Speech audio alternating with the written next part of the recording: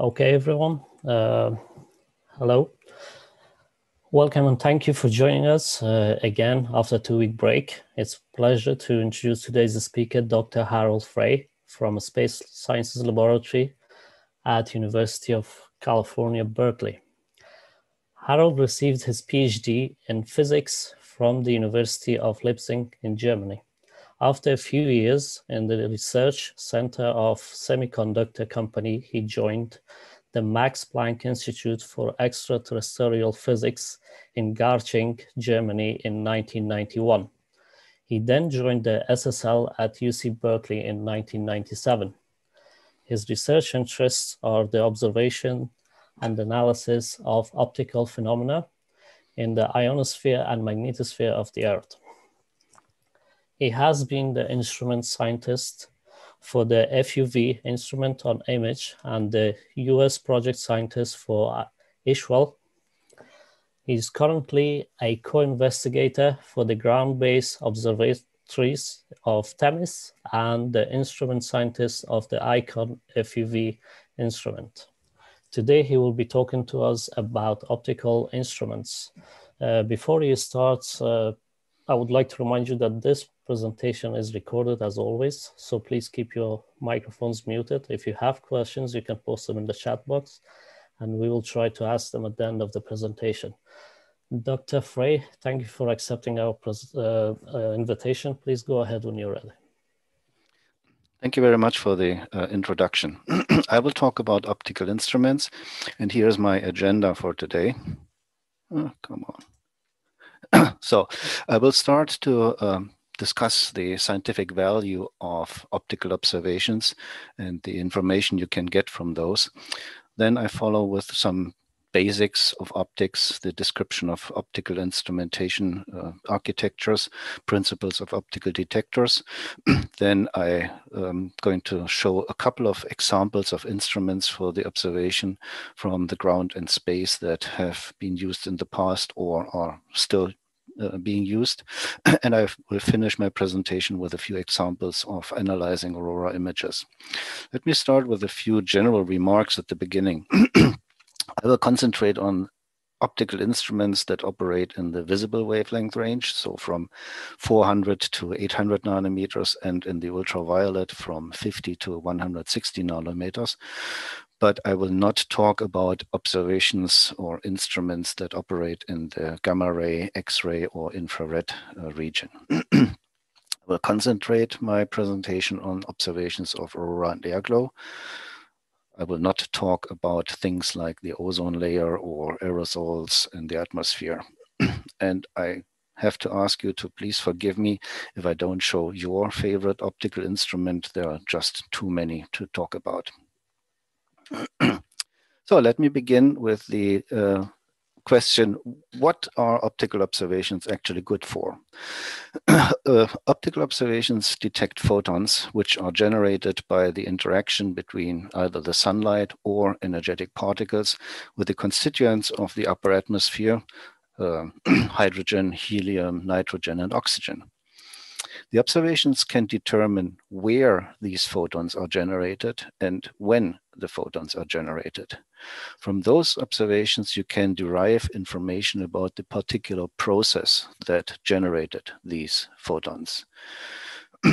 the optical observations allow you to derive scientific quantities like the uh, you determine the location of the aurora and the dynamics of either individual arcs or the whole auroral oval.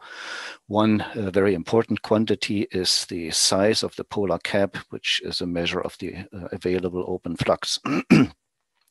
Optical observations allow you to time changes in the aurora, like the substorm onset or changes in the reconnection location or uh, strength of reconnection, you can uh, see the response of the auroral to pressure pulses in the solar wind.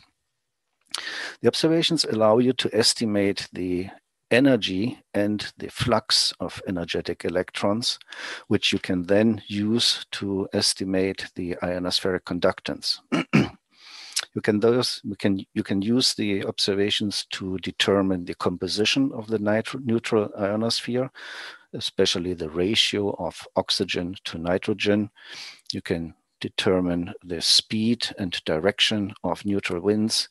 You can get information about uh, gravity waves and their properties, uh, size or direction of motion.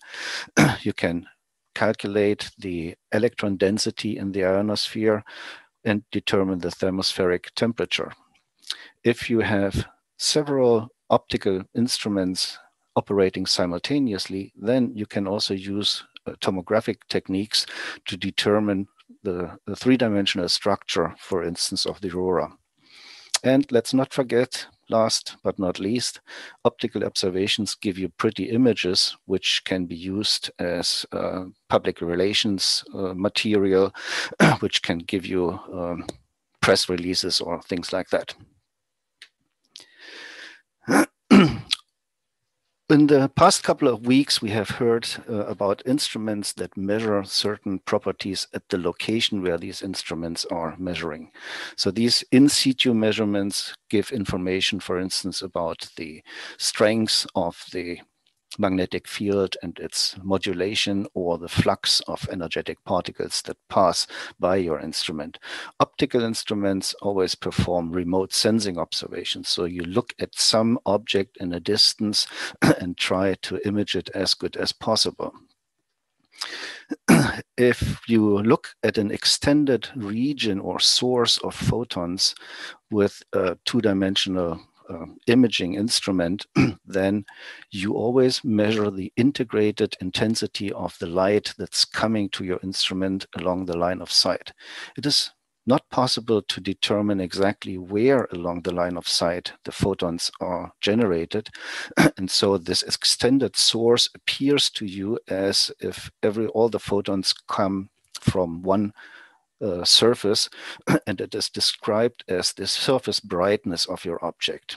The surface, surface brightness I is expressed in units of photons per square centimeter and second and steradian in which they are emitted.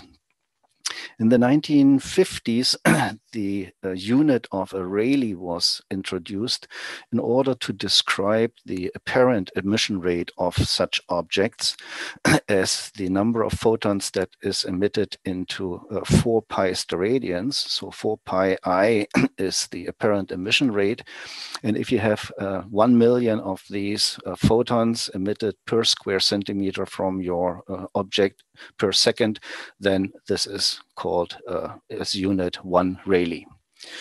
A good aurora is approximately 10 kilorayleighs bright, and the limit for the human eye to recognize something in the dark sky is 1 kilorayleigh.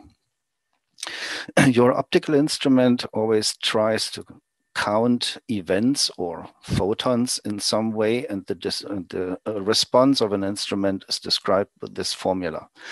so the counts per second that your instrument detects depends on uh, the size of the entrance aperture in square centimeter and the solid angle and the steradians that your instrument observes. You can either use this for the whole instrument or just for each individual element or pixel in your image. This unit here, the 4 pi i, is as earlier described the emission rate in Rayleighs. then the photons that reach the entrance of your instrument have to make it through the instrument to the final detector, which is described as this uh, transmission through the system. Not all incoming photons actually make it to the detector, and the transmission of your instrument is also wavelength dependent. Finally, your detector at the end of your instrument detects a certain number of these incoming photons with the quantum efficiency, which is never 100%. and uh, all these quantities together uh, can uh, describe the response of your instrument to an incoming photon flux. I just want to mention that this quantity A times omega is in optical uh, instruments called the étendue or light grasp in particle detectors, it is uh, called the geometric factor. So this is the same. In visible light, you use um, glass lenses in order to focus your light. You use glass prisms to separate the incoming light into different wavelengths, and you use glass filters to uh, suppress certain colors. I don't want to go into much details here because we all learned about this in high school, but the important thing is that you need to understand that in the ultraviolet, almost all materials are opaque for ultraviolet photons and you cannot use this kind of glass systems in the ultraviolet in the ultraviolet you have to use specifically shaped mirrors which perform the same uh, function of uh, focusing the light into certain directions into certain regions. in order to separate the incoming photons at different wavelengths, you use a, a reflective grating and the uh, operation of a grating is described by this grating equation, where G is the number of grooves per millimeter of your grating. M is the order of diffraction. Most of the time you, uh, use, you work in first order, so M is either plus one or minus one, and alpha is the angle of incidence of your incoming light towards the uh, grating. Thus, the different wavelength lambda are diffracted into different directions with this angle beta. Here is an example what you get if you illuminate a reflective grating with white light. The light is uh, separated into different wavelengths or colors. Now you have the two options. Either you put a large detector here that will simultaneously collect all these different colors, or you use a single slit to select one particular color and block all the others uh, from reaching your detector. One important uh, property of many um, optical systems is that they have uh, geometric distortions. These are uh, different in, for the uh, specific focal length of your optics so telephoto lenses or systems that have focal length uh, larger than 80 millimeters don't suffer too much from distortions. The human eye equivalent is a 50 millimeter uh, focal length, wide angle is around 30, and fisheye lenses have focal length of 10 millimeters. And here I show a few examples of just normal uh, uh photos of um, objects on the earth demonstrating this kind of distortions that you can get. In this uh, picture here, you see that the uh, corners of the building appear as if they are uh, aligned uh, under a certain angle with respect to each other. But we all know that the architects design these buildings with uh, straight and parallel corners. Another uh, way of distortion is this uh, kind of a barrel-like distortion where the straight tower here on the right-hand side appears as if it is bent, which is not the case in uh, true uh, nature. and with uh, very large fisheye observations, you get extreme distortions that in this particular case, the horizon appears curved like this. So if you want to make scientific observations with optical uh, instruments, you always have to determine and know the uh, amount of distortions that your system generates if you want to determine, for instance, sizes, distances between individual portions of your imaged uh, object. We have heard about the aurora many months ago, so I don't want to go into too much detail. Just I want to mention that the aurora uh, is generated by the interaction of energetic electrons with the upper atmosphere. and uh, this interaction generates these uh, many emission lines coming from primarily uh, oxygen and nitrogen uh, atoms and molecules. And this is what you want to look at with your observations. One could ask, uh, why do we observe aurora or uh, air glow in the ultraviolet? And there are two very good reasons for that. The first one is shown here on the left-hand side. The sun emits a spectrum which can be pretty well described as a black body spectrum with 5700 Kelvin temperature. You see here that uh, above 4000 angstroms, the solar spectrum is very bright, while in the ultraviolet and especially the far ultraviolet region around 1500 angstroms here, it is about five to six orders of magnitude dimmer. So if you want to observe the aurora on the day side of Earth, which is illuminated by the sun, and then the uh, sunlight is uh, really scattered and gives you a strong background, then it is basically impossible to observe aurora in the visible wavelength range on the day side, but you can observe it in the far ultraviolet because your signal has to deal with a much, much reduced background. The other uh, reason is the uh, so-called optical depth, which, which describes the altitude at which incoming light from the sun is attenuated to uh, by a factor of 1 over e. Here at about, or from beginning at about uh, 3200 angstroms and up, you see that incoming light can actually reach the ground. And that's the reason why you should use sunscreen at the beach. But in the far ultraviolet range around 1500 angstroms, you see that incoming light can only reach down to about 100 or 90 kilometers, and then it, after that it is completely absorbed and scattered.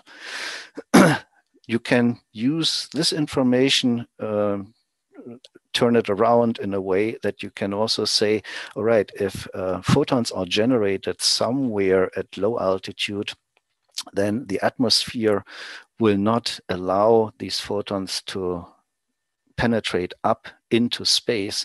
And if you have an optical instrument looking from space down to Earth, you will not see any photons that are uh, generated at low altitude uh, in this uh, far ultraviolet uh, wavelength range. that means while in the visible, you have to deal with uh, city lights or lightning that can uh, blow up, or the uh, scattered light from the full moon that is scattered back into space uh, from snowy surfaces or things like this. In the far ultraviolet, you don't have these problems. so your image is in this respect background free. Here's one example of a, a so-called all-sky camera that we use to observe the aurora from the ground. The basic architecture of an all-sky camera is uh, shown here in this uh, cross-section. you have a fisheye lens, which is built in a way that you can really see the whole um, region around you from one horizon to the other then it is very important if you want to filter the light at one particular wavelength. the uh, fisheye lens accepts light from very different angles and interference filters don't work over a extended range of uh, input angles. So you have to make the incoming light parallel, which you do with this uh, telecentric lens. And then you can put a filter at the location here where the incoming light is parallel. we have we built up this uh, Themis All Sky uh, camera system with 20 different cameras all over North America with overlapping fields of view that allows us to generate these mosaics of the whole uh, aurora in this uh, part of the globe. there are two um, basic principles of spect spectrometers, which allow you to uh, image the light in different wavelengths. you have to recall an, an object that we are looking at in the aurora or the air glow is a two-dimensional structure in the uh, size but then there is also, you can consider it as a third dimension, the spectral information that makes your uh, observed object a three dimensional object, which you can only observe with a two dimensional detector system. so in order to do this, you have to throw away one of these three dimensions. And here are the two main systems that uh, are used to do this. Then the top here, you see a principle of an imaging spectrometer. For simplicity, all these optical elements here are shown as uh, transmission elements because it is uh, much easier to understand in the ultraviolet. As I mentioned earlier, you have to do this with reflective, uh, reflective elements. so the in the imaging spectrometer, the incoming light is focused by some optics towards the uh, entrance slit. Then behind it, you have uh, optics that makes parallel light out of this, which is illuminating the grating and the grating separates the incoming light in different wavelength in this particular example here in the horizontal direction. so what you what what this system does, it basically uh, collapses the horizontal spatial information and it maintains the in this uh, presentation the vertical spatial information and it maintains the spectral information which you can observe with your detector. The spectrographic imager, on the other hand, has an input slit, which is imaged by some optics towards the grating. And this optics generates an image of the outside world at the location of the grating. The grating separates the wavelength of the incoming light, which is then um, put through some imaging optics through exit slits and that then uh, are observed with your detector system here at the end. what you do in this um, arrangement is that in some way you throw away the spectral dimension, but you keep the two-dimensional information which is uh, just specific for one particular wavelength. so in this kind of uh, instrument, you can either put one exit slit or two, or if you have enough space, you can also put three uh, slits there and observe the outside world in spectrally filtered true two-dimensional images. the um, principle of an uh, imaging spectrometer was used on TIMED GUVI and is today used on ICON EUV. And the principle of the spectrographic imager was used on the image spectrographic imager and is now used by uh, ICON FUV. now let me come to detector systems. The simplest detector for photons is the photometer or photomultiplier, where you have a so-called photocathode. This is some material that uses the uh, photoelectric effect to transform an incoming photon into a photoelectron. This photoelectron can then be accelerated by an applied potential into this uh, body of your uh, photomultiplier tube, where you have these many dynodes which respond to the input of a, a electron with a multiplication of the electrons. And if you have many of those dynodes uh, past each other, you can achieve multiplication uh, factors of the order of uh, 1 million or 10 million, which is then sufficient to actually detect a current pulse at the output, which allows you to detect these individual incoming photons. but uh, I have to say the uh, photometer integrates over the whole area that uh, your optical system is uh, looking at. the combination of a multi-channel plate and some other uh, reading detector, in our case, which I will discuss here, the cross delay line detector, allows you to actually make real two-dimensional images. The channels in the multi-channel plate are each basically individual photomultipliers. you have a photocathode at the front, which generates a photoelectron, and then the applied uh, potential inside each of these little uh, pores multiplies the electrons and at the output you have an electron cloud which hits your detector at a certain location and the working principle of the cross delay line detector is that you have this kind of an electric wire when an electron cloud hits this electric wire, you measure the time that the uh, pulse um, read, re, uh, is, is, read at the two ends of your electric wire. And if you uh, determine the time very exactly, then you can determine where the uh, electron cloud hit your uh, grid of electric wires. In uh, normal systems, you have uh, two of these wire grids perpendicular to each other, and the four amplifiers at the output measure the uh, charge pulse, which allows you then to determine the x and y position of each individual photon where it hit your uh, detector system and this way you can uh, build up your final two-dimensional image.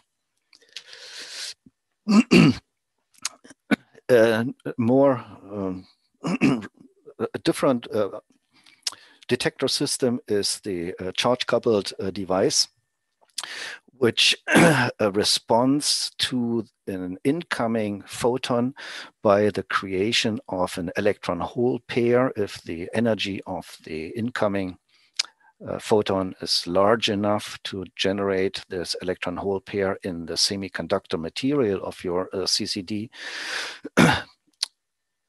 and the CCD is um, divided into uh, many different individual uh, photon elements here, which um, hold the charge of the electrons that were generated in these individual uh, imaging elements here for quite some time. And the readout happens in two different ways. Here I will uh, discuss a little bit more in detail the so-called frame transfer, where your uh, semiconductor has this imaging section, which actually really sees the outside world. The photons hit this uh, part of your semiconductor and generates the charge in these individual elements. And at the end of your integration period, you shift the whole image down into the so-called store section, which is uh, covered by uh, foil or by uh, some layer of metal so that no light can actually reach it. and then you individually read out these um, lines of charges over time, which then builds up your uh, final image. Just as to give you uh, an example in the Icon FUV instrument, we have this uh, charge uh, frame transfer uh, CCD architecture. We take integrations for 120 milliseconds. The shift of the charge down into the store region is pretty fast, uh, it takes 2.3 milliseconds, but then the readout is again uh, rather slow. In our particular case, 100, almost 117 milliseconds. and that's why with this kind of instrument, uh, you cannot uh, take shorter integrations than this uh, roughly 100 milliseconds, 120 milliseconds. The other architecture is the interline transfer, which has uh, per, uh, next to each individual imaging line, a storage line, which then requires uh, many output uh, reads. And this way you can read them out much faster. More modern uh, detector systems are these uh, complementary metal oxide uh, semiconductor devices, which are nowadays used in most modern systems and, for instance, in your uh, smartphone. The advantage of these systems is that each photodiode has its own uh, readout register, which allows you to read out these uh, systems much faster and which also require much less energy, which is a big uh, advantage in things like your uh, smartphone, that you don't uh, drain your uh, battery too fast by taking pictures. Many of the satellites that fly in space are uh, three axis stabilized. And if you put a camera on one of those satellites, you can point it down to Earth and you can observe the aurora very nicely. But then in many cases, you have also other instruments on the same spacecraft, for instance, electric field antennas or uh, particle detectors, which rather want to have a spinning spacecraft in order to really observe the three-dimensional structure of the electric field or the flux of energetic protons. But a spinning spacecraft is a little bit of a problem for uh, imagers because you only see the object, for instance, the auroral oval, for a very short period of time. And I try to um, demonstrate here the uh, so-called uh, time delay integration technique, which was originally developed for imaging fast-moving objects. But if you have an instrument on a spinning uh, spacecraft, then uh, the same is that you observe a more or less a quasi-stationary object from a moving uh, platform.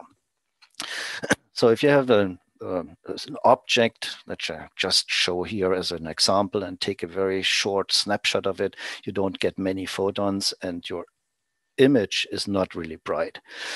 Taking images all the time leads to this smearing and you cannot really distinguish and uh, determine the structure of the scene. The time delay integration technique is shown here uh, on, on the right, where while the camera is looking at the object and with the moving uh, or spinning spacecraft, the, it sees different parts of the uh, of your object. you can then put these. You take very short snapshots, and you put all these individual snapshots with the proper uh, horizontal offset into your memory where you add them up. And in the uh, end, your time delay integration technique can give you a very good and clear picture of your uh, scene, even from a spinning platform. As with all scientific instruments, you have to do a careful calibration on the ground, which will only then allow you to make useful scientific measurements in space. Optical instruments have three main properties that have to be calibrated on the ground. It's the imaging capability, the imaging quality, and the quantitative sensitivity of your instrument. in the uh, ultraviolet, because uh, ultraviolet photons don't travel well through air, as I showed earlier. You have to do this kind of calibration in a big vacuum chamber.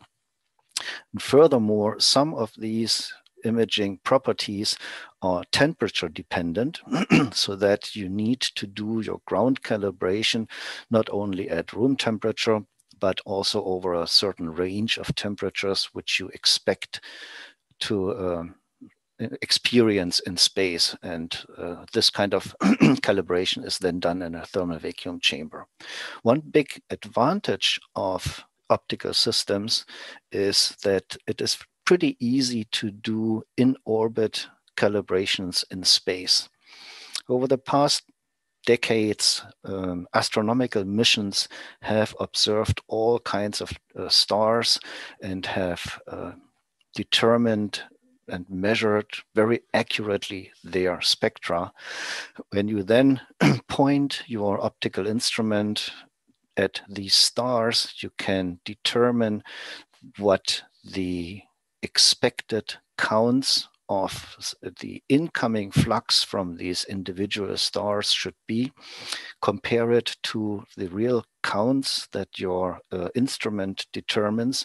and this way you can make a very nice uh, in orbit calibration of the sensitivity of your instrument, which you can also then use to monitor the performance of your instrument over time if you repeat these calibrations uh, regularly. Here are a few examples of optical observations with the uh, IMAGE uh, FUV instrument, we got a full view of the auroral oval seen here, together with the uh, very bright uh, day glow sun illuminated portion of the Earth. Down here, I show as an example the size that an all sky camera can actually observe from the ground this uh, little circle here, which uh, for an all sky camera can give you this kind of a view. I have to mention these two uh, images were not taken simultaneously, so this, this is not the, the same scene. From low Earth orbit, you also have the option to look sideways towards the aurora so that you can, in some way, determine the altitude structure of your uh, aurora as it appears. Then uh, with a smaller angle uh, optical systems, you can make better views, in this case from the ground, of the auroral oval or uh, individual auroral arcs. and if you have uh, systems with a small field of view and very fast readout, you can then observe these kind of structures of curls in the aurora as they move around um, and uh, can observe those and make these nice movies. I need to mention that uh, what you see here is not actually motion in the uh, ionosphere. Nothing in the ionosphere is moving at those speeds and uh, at those directions. it is the aurora is generated by the incoming beams of electrons, and these, these beams are distorted. It is as if you uh, stand in a dark room, have a flashlight, and point it uh, at the wall and move it around, then the spot of the flashlight will change, but the wall itself does not move. This is the equivalent of the aurora that you see here. now I want to come to a few examples of instruments that have been uh, used in the past. And the first one is uh, the GUVI or SSUSI that uh, was flying on uh, TIMED. this is the principle, as I mentioned earlier, of the uh, spectrographic imager. it has a scan mirror, which allows to look from one horizon to the other horizon. And while the spacecraft is moving, it is building up this kind of swath image of the auroral oval. it has a, a, very good spectral resolution and you can monitor several uh, wavelengths simultaneously. but you have to keep in mind that the buildup of such an image here takes of the order of 20 minutes for the spacecraft to move from this side to that side. So if you see some structure in the aurora, let's say here in the morning side, and roughly speaking, 20 minutes later, you see some other structure here at the evening side, it is not guaranteed that the two structures occurred and existed at the same time. the uh, polar UVI instrument is shown here.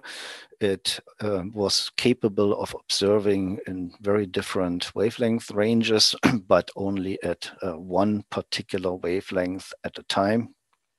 It used a complex system of reflective and transmissive filters with a total of 35 reflective layers to then build up this kind of an image of the auroral oval, which here shows a very nice transpolar arc. I also want to mention that uh, UVI was uh, 15 kilograms. and the next example here of our spectrographic image on the IMAGE spacecraft was 20.9 kilograms. So in general, all these ultraviolet systems, which require quite a large optical system, are heavy and are not uh, useful on, for instance, a CubeSat. You, for this kind of system, you need a real bigger spacecraft. So with the uh, IMAGE SI, we could uh, take these images of the electron and pro uh, of the proton and the electron aurora simultaneously. Here's a, a image of this instrument without the cover and the spectrographic imager in ray trace is shown here. The uh, light is coming in from the left you have a, a collimating mirror which uh, collimates the light to the grating shown here. The grating separates different wavelengths into different directions where you have the exit slits and then you have uh, two detectors uh, monitoring uh, two different wavelengths. the ICON spectrographic imager uses basically the same general technique. it is shown here to give you an uh, impression of the size of that instrument uh, with uh, respect to uh, the size of a human. the uh, ICON FUV uses um, in, uh, intensified microchannel plate and CCD seal tube. It is even heavier with 33 kilograms, and it is used to determine the ratio of oxygen to nitrogen on the day side and the oxygen ion density distribution on the night side.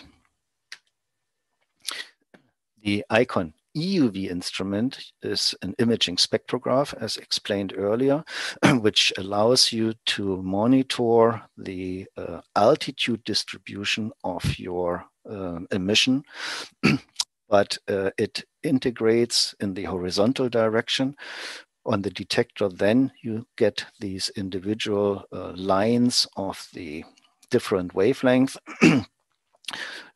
and the uh, ICON EUV instrument is focused at two particular oxygen ion lines at 61 and 83 nanometers, which are shown here, which you can then uh, use to determine the uh, dayside uh, oxygen ion altitude density profile.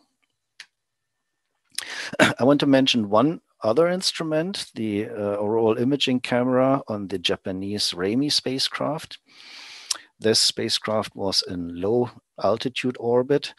They had three independent cameras with filters looking at three different wavelengths, which then allowed them to take these simultaneous images of the aurora in these three different wavelengths and compare the output uh, with the uh, particle measurements that the particle detector on the spacecraft uh, uh, measured at the same time.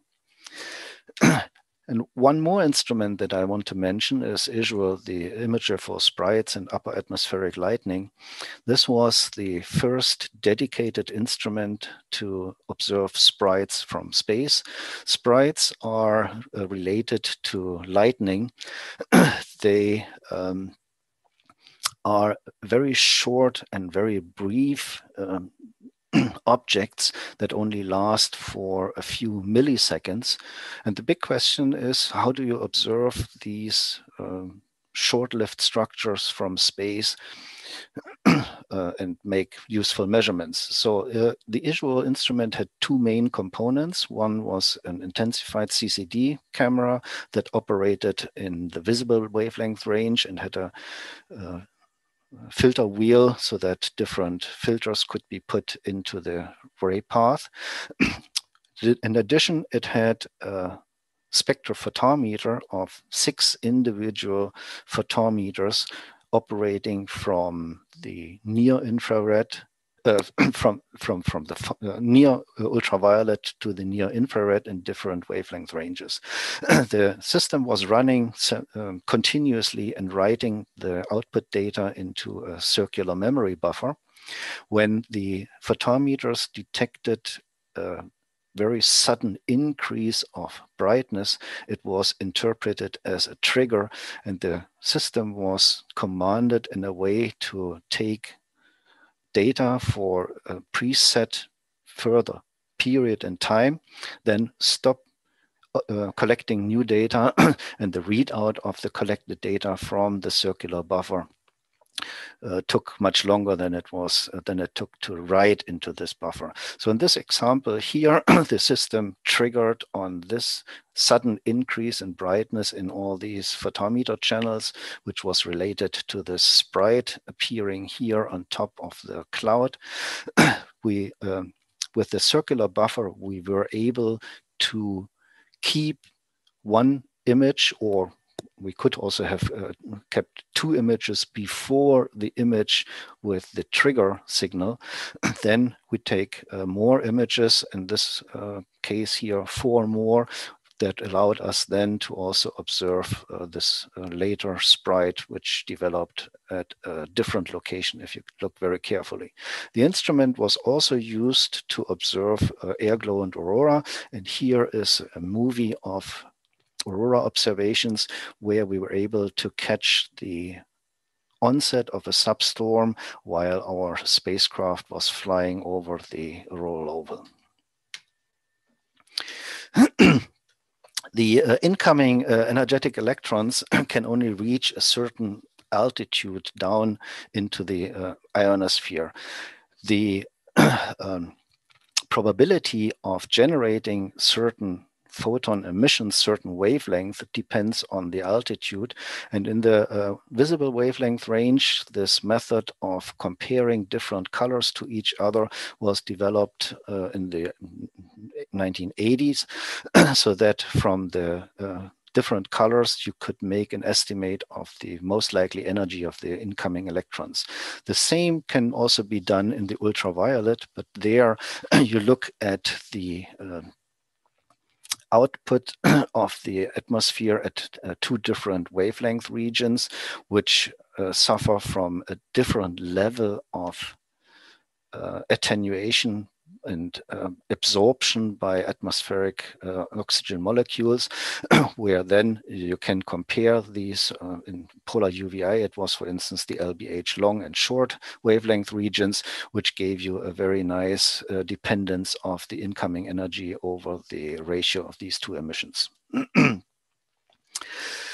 In the uh, in 1994, we had uh, five different cameras set up around the uh, radar in uh, Scandinavia, when we uh, observed an auroral arc crossing over the common volume of all these different cameras, which are all pointed to the common volume of the EISCAT uh, radar beam, and we were able to reconstruct the three-dimensional structure of the emission in this auroral arc. At the moment that the arc then actually crossed the radar beam, we could compare our three-dimensional reconstruction with the measurement of the electron density done by the radar. Optical observations can be used to determine the onset of a substorm, like in this particular example from our Themis system. this camera was the first one that determined the sudden increase of auroral brightness in, related to the substorm onset. And then we could follow the expansion of the aurora towards the uh, west and east as the uh, substorm expanded. One other way uh, and thing that you can do with optical observations is you can determine the speed of individual structures. A nice way of doing this is that you take uh, difference images, uh, you subtract the previous one from your image, which gives you this kind of uh, difference image um, display, which you can then use to determine the speed of individual rays as they are moving along your auroral arc from uh, east to west. In this particular example, the speed of uh, rays that we observed in this arc was uh, 4.5 kilometers per second. um, this was all what I wanted to present today. I have listed here a couple of uh, references for further reading if you're interested to learn more about the Aurora or uh, instruments and the uh, way they are operating to observe aurora or air glow. And if you have any questions, you can either ask them now or contact me at this email address. So thank you very much for your attention. Thank you, Harald. That was fantastic. Very detailed and clear presentation. We do have a number of questions, but uh, while I'm giving everybody a chance to type their questions, I'm going to remind everyone that we do have a talk next week. Uh, Lindqvist will be discussing electric field instruments. And yeah, we're going to go to the questions now. The first question is from Eric Lund. And the question is Do any of the FUV lines you mentioned have an issue with delay versus prompt emissions? as some visible wavelength wavelength lines do, such as uh, 557.7 and especially 630 nm. So the uh, lines that we use and select in our systems are particularly uh, selected that they don't suffer from uh, this kind of uh, lifetime issue. the uh, LBH band is more or less a very uh, immediate um, emission. Okay, thank you. Uh, the next question comes from Ankush Bhaskar. Um, and he wants to know what is round out rate for CMOS sensors compared to CCD. If uh, COMS is fast, why can we use instead of CCM, CCD? Sorry. Um, so you, you have to you have to uh, distinguish between the integration time and the readout time. so with any of these systems, you can integrate for a time period whatever you choose. it is just that the uh, readout of the CMOS detector is much faster because each individual photodiode has its own readout register, so that you um, let me say, don't waste time waiting for the readout to happen. Okay, thank you. So the next question comes from Jason Schuster.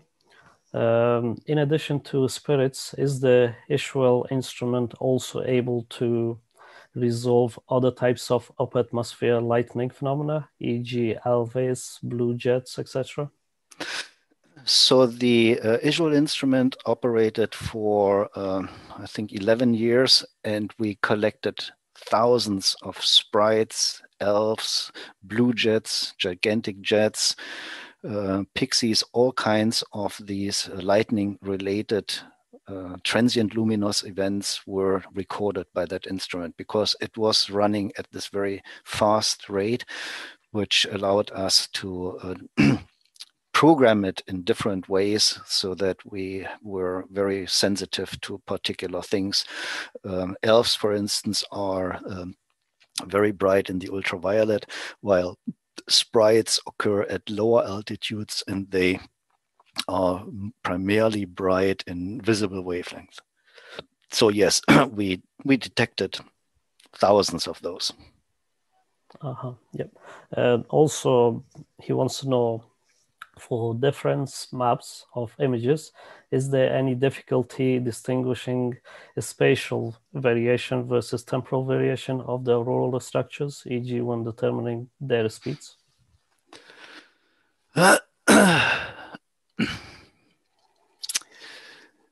so in general, these images allow you to follow the temporal changes pretty well because um, so, so uh, if you calculate these uh, difference images, you uh, look at the speed of the difference that is moving, let's say from east to west, but uh, you can also looking at uh, the individual location in your images, you can determine how the brightness changes with time. so in the very end, you have more or less a mix of spatial and temporal things because you don't really know. uh, but uh, as I tried to explain earlier with this um, example of the flashlight uh, moving at uh, across the wall, the the incoming beam the, the the current of the incoming beam can stay the same but it can be distorted in a way that it hits the upper atmosphere at a different location at a later time. Okay thank you uh, well, I'm sure you can't see the chat box, but there are praises for the presentation. It was really great. Um, and we still have some more questions. Well, specifically, if I have to name Jason Dare and Patricia has been uh, praising your presentation. Uh, so we go to another question. Actually, let's go for a question from Patricia. Uh, could you please show the image of the Themis reconnection image again? Um, I would like to show it to my class tonight, and it may take a while for them to post the recording. Well, okay. although we try to re- post it as soon as we can.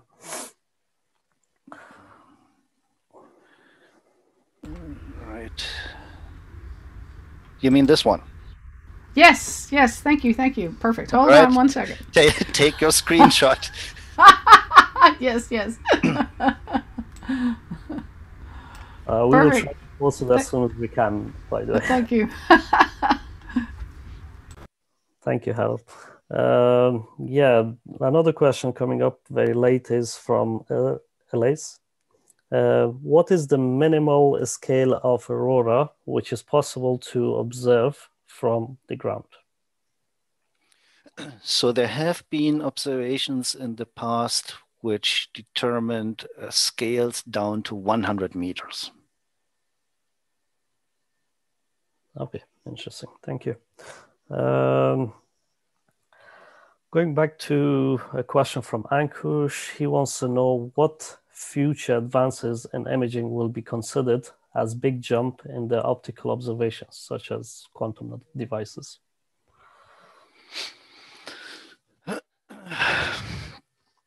I think the bigger problem is uh, to get optical instruments into space in the first place, because it is currently, to my knowledge, the only really planned instrument is the uh, SMILE mission, for, which is a collaboration between uh, China, uh, Great Britain, and Canada that will observe uh, the aurora from very high altitude.